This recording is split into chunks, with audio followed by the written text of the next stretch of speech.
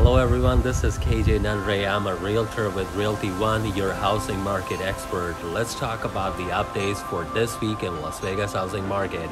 We have about 5,900 houses on the market right now.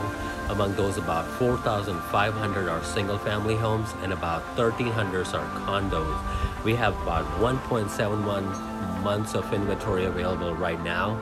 Average sold price is about 335,000 Median sold price is about $299,000. Please subscribe to my YouTube channel. See you next week.